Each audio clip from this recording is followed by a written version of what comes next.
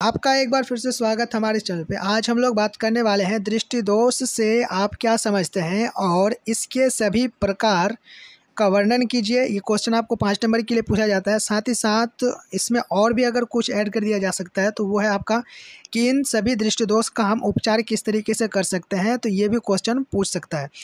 तो उपचार भी आपको इस वीडियो में पता चलने वाला है कि दृष्टि दोष का आप उपचार किस तरीके से कर सकते हैं, क्योंकि चार दृष्टि दोष है। और इन सभी चार दृष्टि दोष का अलग अलग तरीके से उपचार किया जा सकता है। तो चलिए पहले हम दृष्टि दोष समझते हैं, उसके बाद फिर हम समझेंगे आगे। तो यहाँ पे आप देख सकते हैं, दृष्टि दोष किसे कहते हैं या फिर क्या है दृष्टि दोष? दृष्टि दोष का डेफिनेशन यहाँ पे दिया गया है कि आँखों का वह बीमारी जिसके कारण कोई वस्तु साफ़ साफ़ नहीं दिखाई पड़ता है या साफ़ साफ़ नहीं दिखाई देता है, उसे दृष्टि दोष कहा जाता है। और ये जो दृष्टि दोष है, इसका डेफिनेशन ज़रूरी नहीं है कि आप जिस तरीके से मैं लिख के दिया हूँ, उसी तरीके से लिखें। तो इसके आप अलग तरीके से भी लिख सकते हैं, जैसे कि हम और भी एक अलग तरीके से तरीका दिया हुआ है, यहाँ पर आप देख सकते हैं। जब कोई व्यक्ति किसी वस्तु को साफ़ साफ़ नहीं देख पाता है तो उस व्यक्ति के लिए कहा जाता है कि उसे दृष्टि दोष है। तो आप और भी अलग तरीके से लिख सकते हैं कि जैसे आप लोग जानते हैं निकट बिंदु होता है और दूर बिंदु तो निकट बिंदु और दूर बिंदु के बीच का जो क्षेत्र होता है उसको दृष्टि विस्तार कहते हैं। मतलब इस निकट बिंदु और दूर बिंदु के जो क्षेत्र हैं तो उन दोनों बिंदुओं के बीच का जो क्षेत्र है, यहाँ पर अगर कोई भी वस्तु स्थित होगा तो उस वस्तु को हम देख सकते हैं। तो अगर कोई व्यक्ति निकट बिंदु और दूर बिंदु में स्थित, के बीच में स्थित कोई वस्तु को स्पष्ट रूप से नहीं देख पाता है साफ़ साफ़ नहीं देख पाता है तो उसे भी दृष्टि दोष कहा जाएगा। तो इसको भी आप लिख सकते हैं। तो हम अब बढ़ते हैं कि दृष्टि दोष के कितने प्रकार होते हैं या फिर दृष्टि दोष को कितने भागों में बांटा गया है। तो यहाँ पे आप देख सकते हैं दृष्टि दोष के चार प्रकार होते हैं। एक है निकट दृष्टि दोष दूर दृष्टि दोष तीसरा है जरा दृष्टि दोष और चौथा है अबिंदुकता। तो निकट दृष्टि दोष दूर दृष्टि दोष जरा दृष्टि दोष और अबिंदुकता तो इन सभी को हम एक ही साथ समझेंगे कि निकट दृष्टि दोष क्या है। इसका चित्र में भी समझेंगे और इसका उपचार आप किस तरीके से कर सकते हैं, ये भी समझेंगे। तो चलिए देखते हैं, निकट दृष्टि दोष पहले देखते हैं। तो यहाँ पे आप देख सकते हैं, निकट दृष्टि दोष। निकट दृष्टि दोष का डेफिनेशन आप इस तरीके से लिख सकते हैं, जब निकट की वस्तुएँ साफ़ साफ़ दिखाई दें और दूर की वस्तुएँ साफ़ साफ़ दिखाई ना दे तो उसे निकट दृष्टि दोष कहा जाता है। मतलब निकट दृष्टि दोष मतलब यहाँ पे नाम से समझिए। निकट मतलब नज़दीक दृष्टि मतलब देखा जाता है मतलब आँख और दोष मतलब बीमारी। तो आँख का जो निकट की वस्तुओं जो नहीं देख पाते हैं तो उसे ही निकट दृष्टि दोष का मतलब होता है। लेकिन यहाँ पर उल्टा हो रहा है। निकट दृष्टि दोष तो निकट यहाँ पे वर्ड है।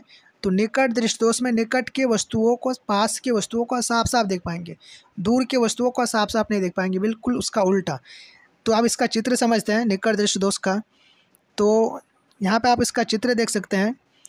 एक सामान्य आँख जो होता है, स्वस्थ आँख, वो इस तरह इस तरह होता है। वहाँ पे कोई भी अगर कहीं भी, कितने भी दूरी में हो, कितने भी नज़दीक में हो, कोई भी वस्तु, लेकिन उसका प्रतिबिंब जो है रेटिना पर बनता है। लेकिन जब निकट दृष्टि दोष होता है तो कहीं पर भी वस्तु हो मतलब वो अगर दूर में स्थित वस्तु है, यहाँ पे ओ डैश में मतलब यहाँ तक उसका क्षेत्र है, यहाँ तक अगर कोई वस्तु स्थित है तो वो स्पष्ट रूप से देख सकता है। लेकिन अगर इससे दूरी पर कोई वस्तु है तो वो स्पष्ट रूप से नहीं देख सकता है। तो देख सकते हैं यहाँ पे दूर पर दिया गया है, जिसके कारण यहाँ पे देख सकते हैं कि ये जो रेटिना है, रेटिना से पहले ही बन रहा है। आप लोग ये बात जानते हैं कि जो हमारा मनुष्य का आँख होता है, उसमें उत्तल लेंस कार्य करता है मतलब उत्तल लेंस लगा हुआ होता है। तो आप जान लिए कि निकट दृष्टि, ये निकट दृष्टि दोष क्या होता है, उसका आप उपचार समझते हैं। तो यहाँ पे आप अगला फिगर देख सकते हैं। इसका उपचार जो किया जाता है, ये जो लेंस है, ये है अवतल लेंस। तो इस अवतल लेंस से ही निकट दृष्टि दोष का उपचार होता है। तो निकट दृष्टि दोष का उपचार के लिए अवतल लेंस के चश्मा का उपयोग किया जाता है। यहाँ पे आप जब निकट दृष्टि दोष के लिए अवतल लेंस का चश्मा का उपयोग करेंगे तो यहाँ पे देख सकते हैं ओ डैश में जो वस्तु है तो यहाँ पे ओ डैश में वस्तु है, लेकिन जब हम अवतल दर्पण अवतल लेंस का चश्मा पहनते हैं तो वस्तु हमें ओ पर मालूम होता है। मतलब यहाँ पे देख सकते हैं, मालूम होता है मतलब है ओ डैश पर, लेकिन पता चल रहा है ओ पर। इसीलिए हमारा प्रतिबिंब जो है रेटिना पर बन जाता है, जिसके कारण हम स्पष्ट रूप से देख पाते हैं। तो अब बढ़ते हैं अगला पॉइंट की तरफ़। निकट दृष्टि दोष को दूर करने के लिए अवतल लेंस का उपयोग किया जाता है। मतलब अवतल लेंस का चश्मा बना करके उपयोग किया जाता है। उसके बाद हम देखते हैं दूर दृष्टि दोष। तो यहाँ पे आप देख सकते हैं दूर दृष्टि दोष जब दूर की वस्तुएँ दूर दृष्टि दोष दूर की वस्तुएँ साफ़ साफ़ दिखाई देंगी और नज़दीक की वस्तुएँ साफ़ साफ़ नहीं दिखाई देंगी। निकट वस्तु, निकट दृष्टि दोष में निकट की वस्तुएँ साफ़ साफ़ दिखाई दी थी, लेकिन दूर की वस्तुएँ साफ़ साफ़ नहीं दिखाई दी थी। उसी प्रकार उसके विपरीत है दूर दृष्टि दोष में दूर की वस्तुएँ साफ़ साफ़ दिखाई देंगी और नज़दीक की वस्तुएँ साफ़ साफ़ नहीं दिखाई देंगी। तो उसे क्या कहते हैं? दूर के दूर दृष्टि दोष कहते हैं। और इसका जो हम देखते हैं फिगर से समझते हैं अब आगे। तो इसका फिगर हम देख सकते हैं, जब दूर दृष्टि दोष होता है दीर्घ दृष्टि दोष दूर दृष्टि दोष को दूर दृष्टि दीर्घ दृष्टि दोष कहा जाता है। तो वस्तु जब यहाँ पे होता है एंड डैश पे तो इसका प्रतिबिंब देखते हैं कि रेटिना से आगे जाके बनता है, पीछे जाके बनता है, जिसके कारण आँख जो होता है, हमारा माइंड इसको अचीव नहीं कर पाता है और सही से नहीं देख पाता है। तो इसी के लिए उत्तर लेंस का उपयोग किया किया जाता है। उत्तर लेंस का जब हम उपयोग करते हैं चश्मा बना करके तो इसका आप देख सकते हैं कि वस्तु एन डेस पर है, लेकिन हमें मालूम पड़ रहा है एन पर, जिसके कारण जो है वस्तु प्रतिबिंब हमारा बन जाता है कहाँ पे? रेटिना पर, जिससे हम देख पाते हैं। और इसका उपचार के लिए पता चल गया कि उत्तल लेंस का उपयोग किया जाता है। यहाँ पे देख सकते हैं उत्तल लेंस ये होता है अवतल लेंस और ये होता है उत्तल लेंस तो उत्तर लेंस यहाँ पे उपयोग किया गया तो उत्तर लेंस का चश्मा का उपयोग किया जाता है। अब बढ़ते हैं जरा दृष्टि दोष की तरफ़ तो जरा दृष्टि दोष देख सकते हैं यहाँ पे आप। वह दृष्टि दोष जिसके कारण निकट और दूर दोनों ही वस्तुएँ नहीं दिखाई पड़ते हैं, नहीं दिखाई देते हैं, साफ़ साफ़ उसे जरा दृष्टि दोष कहता है। ये जो जरा दृष्टि दोष है, इसमें आप कोई भी वस्तु, निकट में हो, नज़दीक में हो या दूर में हो, कोई भी वस्तु नहीं देख पाएँगे साफ़ साफ़। तो उसे ही जरा दृष्टि दोष कहते हैं। अब ये जो जरा दृष्टि दोष है, ये सामान्यतः बूढ़े लोगों में दिखाई पड़ता है। मतलब सामान्यतः देखा जाता है कि ये बुढ़ापे में ही होता है। आपको पता चल गया कि ये जो बीमारी है, आपका जरा दृष्टि दोष आँख का बीमारी ये बुढ़ापे में होता है। अब इसका उपचार देख सकते हैं जरा दृष्टि दोष का उपचार।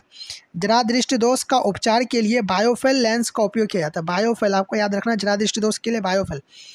तो बायोफेल लेंस जो होता है, इसमें आपका उत्तल लेंस और अवतल लेंस दोनों लगा होता है।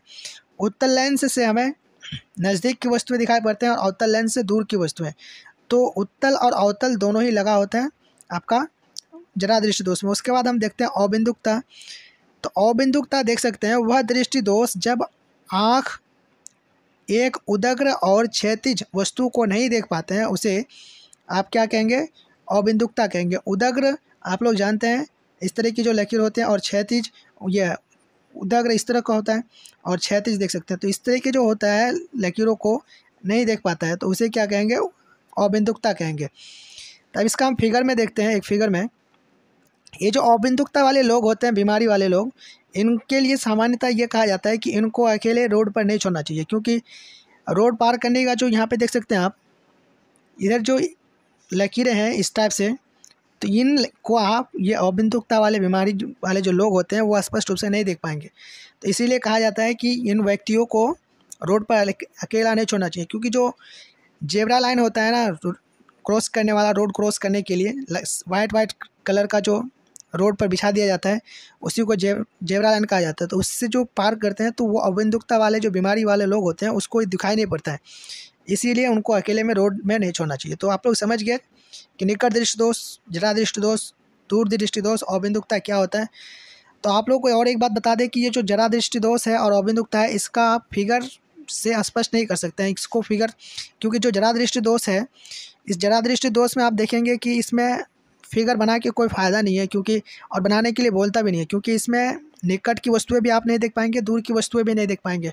तो फिगर आपका कोई ख़ास फिगर मतलब आपको फिगर में काफ़ी कन्फ्यूज़न हो जाएगा। तो जरा दृष्टि उसके लिए फिगर नहीं बनाने के लिए बोला जाता है, और अबिंदुकता तो वैसे भी बेकार ही है। तो आज के लिए इतना ही, मिलेंगे अगले वीडियो में। अगर आप लोग हमारे चैनल पर नए हैं तो चैनल को सब्सक्राइब कीजिए और बेल बटन ज़रूर दबाइए। Thank you.